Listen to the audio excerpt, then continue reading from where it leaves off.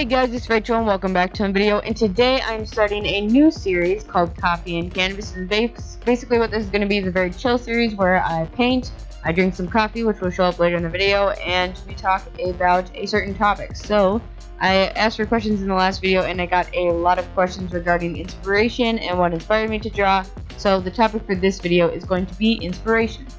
Also, what I'm painting today is just a portrait and I'm trying like a new painting style where I kind of use colors that are not anywhere near the colors of the actual picture and kind of just like rainbow and it looks really cool and you guys will see the end picture and you probably saw it in the thumbnail and it just looks very very cool. So for a little bit of a background with inspiration, I started drawing I think um, like six or seven years ago. I don't know for sure. I don't remember. Probably around six. And I got inspired by the game Minecraft, which I don't play anymore, but I used to play a lot. And that's why you see a lot of my boxy art styles and stuff like that, which aren't in this video, but if you are subscribed to my channel and you know, I do a lot of boxy kind of Minecrafty characters, and they're very cartoony. And also, I got a lot of inspiration from Instagram because I saw a lot of artists on there that had kind of similar art styles, and I kind of merged them all together, and eventually, over the years, developed it into my own art style. So I get a lot of people on my channel that tell me I've inspired them to draw, I've inspired them to start drawing, and I think that's very, very cool. But um, when you guys are first starting off drawing or doing art, I recommend, yes, getting inspiration from people, but also try to get inspiration from a ton of different people so that you can mess around with your art style, mess around the way, with the way that you want to draw or paint or whatever like that. So let's say you wanted to try out my art style. So let's say you wanted to do like this painting. Um, if you're like a really beginner, I don't mind if you were to just like copy the painting completely because you'll develop skills like how to mix colors and how to do lighting and shadows. So yeah, copying like a painting or a drawing like that can be like really beneficial, but I don't recommend like then going out and posting it and saying like, oh, this is yours. And but if you're going to post it, say like at least give credit to the person that you copied. Um, so that's more for like really beginners that haven't even started art or anything like that. Like it's okay if you were to copy something, just don't go out and say it's yours.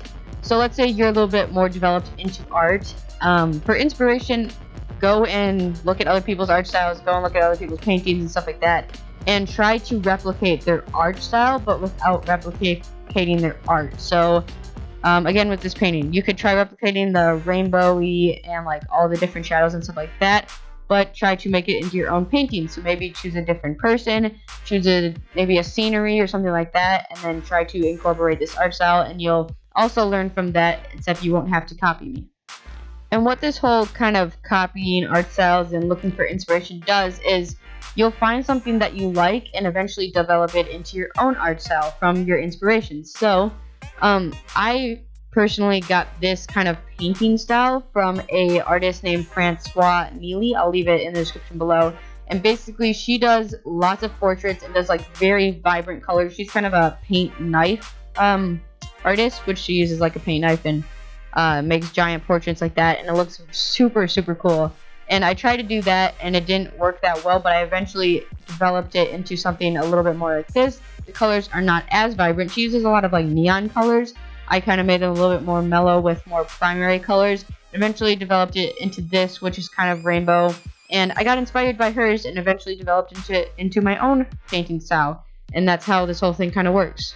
Now for trading card games, it's a lot harder to not copy because all the layouts in card games are pretty similar just because they kind of have to if you want to fit in your text and your picture and all that kind of stuff. But if you're going to look at another card game, don't purposely just copy their layout. Like I've gotten pictures from other people that have basically copied the layout of my card game, but like you can change it guys and you can make it your own even though it's going to look pretty similar. So with layouts, yeah, it's going to be pretty similar to another card game, but you can definitely mess around with the rules. Uh, try to be really unique with your rules and your art style. So art style is something that departs card games a lot. Like Pokemon looks a lot different than Yu-Gi-Oh! and especially Magic. Magic is very realistic. So as you're developing your card game, try not to focus on mu as much on your layout because your layout in the end is going to be pretty similar to everyone else's focus really on your art and your rules because that's going to be what departs you from everyone else in the whole trading card game community. Also, inspiration does not have to come from like an entire art style or painting style or anything like that. Inspiration can be as simple as a color palette or the way they do brush strokes or something like that. Like, let's say you find someone that has a color palette of like really dark, kind of cool colors. You could like try that. Like, it doesn't necessarily have to be an entire painting style that you can get inspiration from. One thing that I think a lot of people forget about is getting inspiration from things that aren't necessarily art or weren't meant to be art. So let's say you're just walking along the street and you see a guy on his bike or you see someone waiting for the bus.